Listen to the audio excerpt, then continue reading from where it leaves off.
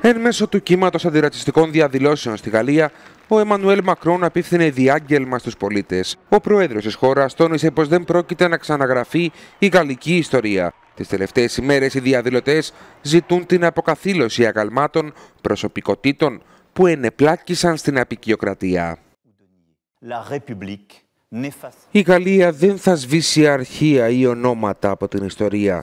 Δεν θα αποκαθιλώσει αγάλματα. Πρέπει να δούμε όλη την ιστορία μας και τις μνήμες μας μαζί και τη σχέση μας με την Αφρική προκειμένου να οικοδομήσουμε ένα παρόν και ένα μέλλον και στις δύο πλευρές της Μεσογείου.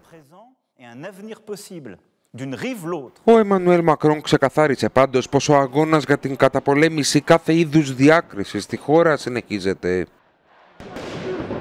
Παράλληλα, ο Πρόεδρος εξέφρασε την εμπιστοσύνη του και τη στήριξή του στις δυνάμεις ασφαλείας. Οι αστυνομικοί στη Γαλλία κατέβηκαν στους δρόμους το τελευταίο διάστημα ενάντια στους περιορισμούς που επέβαλε η κυβέρνηση για τις συλλήψεις υπόπτων.